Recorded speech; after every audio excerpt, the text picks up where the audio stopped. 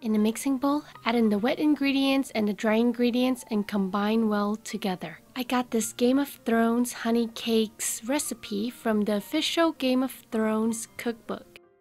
I put the list of ingredients in the description box below, so definitely check it out if you are interested in making them.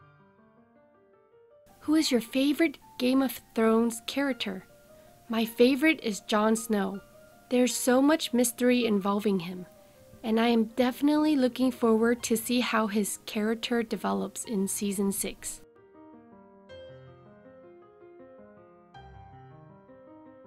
My awesome friend Jen recommended this push-up type measuring cup.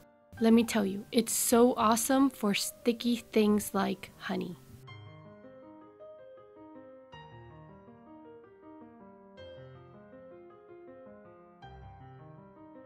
So after you have all the ingredients mixed together, put it into a baking pan.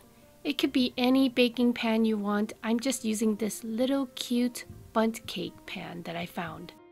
Bake the honey cakes in a preheated oven at 350 degrees Fahrenheit for 30 minutes, and then let the honey cakes cool completely before enjoying them.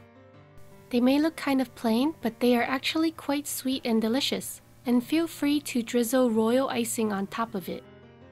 If you like this video, please give it a thumbs up and tell others about it. Thank you.